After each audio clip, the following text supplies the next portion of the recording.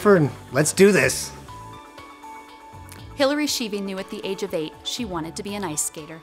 I remember going on a ski trip with my parents and I saw the ice skating rink and I fell in love with it. As she grew, she began to realize her dream.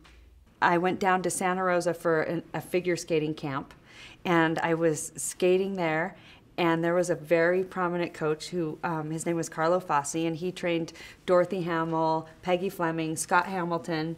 Um, he had seen me skate and he had approached my mother and said, Would you be willing to move to Colorado Springs? And she, of course, was like, Oh, no way. And I was like, Oh, yes, we're going.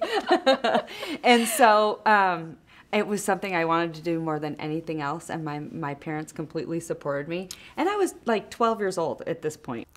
As Hillary is training for the Olympics, her health begins to fail.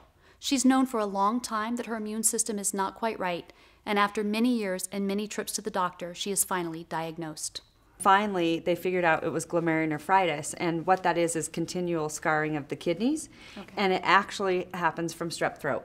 With both her kidneys failing and her Olympic dreams crashed, Hillary is told she will need a kidney transplant. The testing of her family members began, and luckily, they find a great match. My um, sister Amanda, uh, she was the best match and we were actually what they call um, a five out of six match. Six oh. would be perfect. So, like if mm-hmm. you and I were twins, we would be a six match. But um, Amanda and I were fives, and most siblings are threes, so that's a half match. Oh. So Amanda and I were an incredibly close match. After she was tested, she said, "I really want to do this, and this is so great because if you had cancer, I couldn't help you, but this I can help you." And so, what's you... it like for you? I mean, how much pressure does it put on you to ask a family member, and obviously mm-hmm. one that mm-hmm. you're very close to, because this is your sister we're talking right. about, um, right. to give up one of her organs? I mean, this is a big thing because she mm-hmm. could have complications then. Exactly. Um, it, it's a lot of pressure. I would think because you think, what if something happens, and, mm-hmm. and oh my goodness, am I doing the you know right thing? And maybe I should wait, you know, for a cadaver, and you know, it, it is it is a hard decision to yeah. make. Without the ability to skate, Hillary has to find a career path, and this very determined, bright woman has no problem finding her way. Well, I my grandfather was an entrepreneur. My mother was an entrepreneur. Um, I have always loved loved business. I mean, business is is my thing. And so I moved back home to Reno, and then I stayed here because I wanted to open a business. And I opened Plato's Closet, and I was very fortunate because we expanded that store, and then I opened another store.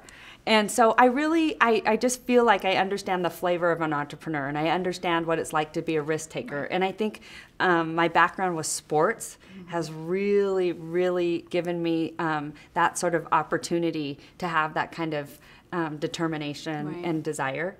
Business is clearly in Hillary's blood, but why Plato's Closet?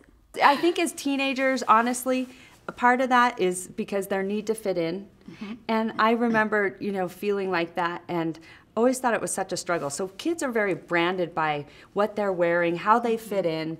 And to me, I just always loved that concept of resale. I love the concept of recycling, but I also love the concept that these kids could afford to wear, you know, the Abercrombie or what whatever was in. And so I really just fell in love with that concept and knew that Reno had to have a Plato's Closet. Plato's Closet is so successful, Hillary decides to open a second clothing store. Same concept, same high end clothes at great prices, however, it caters to a more professional woman. I was seeing all these great clothes come into Plato's closet and we were turning them down. and I'm thinking, wait a minute, I would wear that. With two businesses going strong, Hillary decides to run for city council and start giving back to the community she loves so much. And I'm one of those, I, I always like a challenge. Mm-hmm. And so, um, but I really think it's important to, to give back and um, it, it's different because I'm not a politician. I'm, I'm an entrepreneur, but I think it's it's critical to have people like that um, in politics that know what kind of red tape that you know we in business face. And so yeah. that's where I really was like, I, th- I really know that I could make a difference. While Hillary was opening businesses and winning a seat on city council, tragedy struck her family again.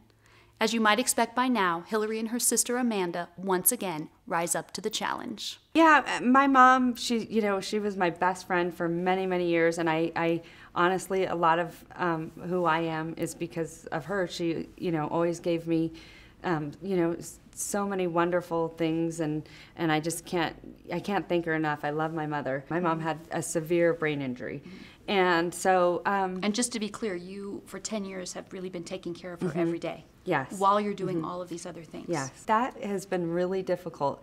Is watching my mother have to suffer through something like that. It's Yeah. been really hard. Well, I think it's pretty incredible that um, your sister is generous enough to give you her kidney. I- And then you and your sister are generous enough to spend 10 years caring for your mother instead of sending her, you know, somewhere else. Yeah. Um, what an incredible family you have. I mean, Oh, just I have to say, I you don't guys know. We're all obviously really take care of each other. Oh, and there's a so lot to be said for that. A lot to be said for I just think you know it just makes you very, very appreciative, Mm-hmm. and it's always important to have gratitude, you know. And I, honestly, I, I've been so blessed. Well, that beautiful smile, combined with all that gratitude and love for her family, has served Hillary well. In addition to all the things we've talked about tonight, she is also the president of the Nevada Youth Empowerment Project, a founder of the Midtown Merchants District. She also founded the Clothing Collaborative, which provides clothing to local teenagers at risk.